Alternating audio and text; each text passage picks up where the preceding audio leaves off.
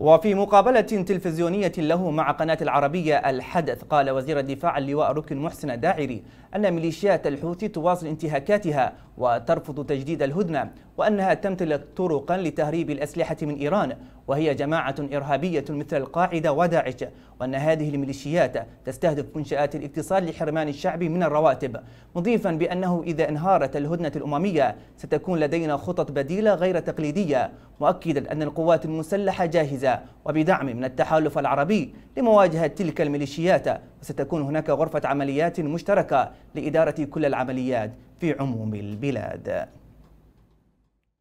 بدأت الحكومة الشرعية والدولة تجاوبها استجابة لمطالب المجتمع الدولي بأن توقف الحرب في اليمن.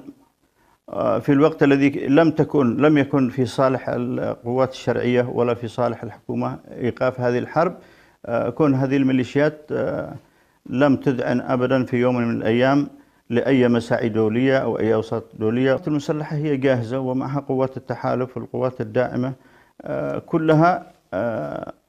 يعني تريد من وراء هذه الهدنة هو إحلال السلام في هذا البلد كون الحرب قد أرهقته وأرهقت شعبه خلال الفترة الطويلة هذه. لكن الميليشيا الحوثية تريد أن تفرض أشياء أخرى وفي حالة انهيار الهدنة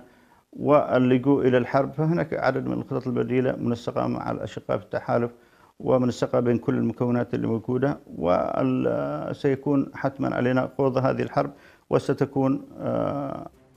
غير تلك الحروب التقليدية.